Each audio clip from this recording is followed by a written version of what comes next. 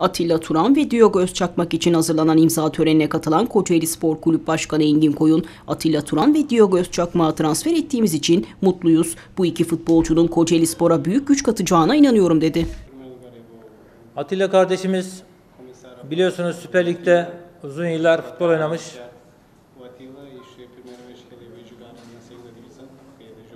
o Atila e isto é a aslen Afyonlu olmasına rağmen Fransa. Fransa'da yetişmiş. Avrupa'da altyapısı olan ve ülkemizde spor kamuoyu tarafından yakinen tanınan ve başarılı bir sol ayak olduğunu bizzat hocalarımızın vermiş olduğu rapor ve bizlerin de izlemiş olduğu Atilla kardeşimiz hakikaten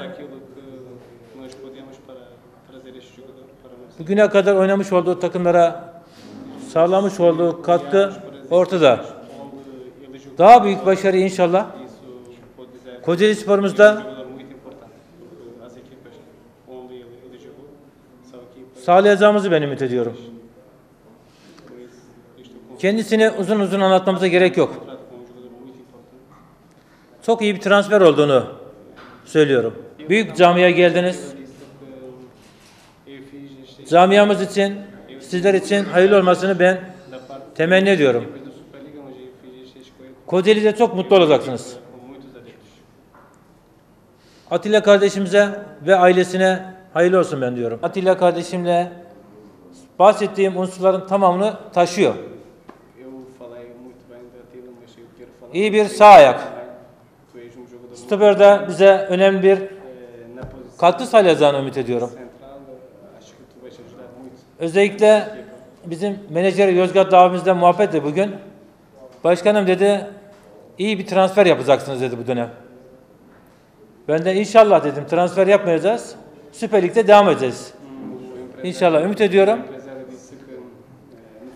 Tabii ki bize gelen her futbolcumuzun bir sonraki dönem önemli kulüplere transfer olmalarından son derece biz mutlu oluruz.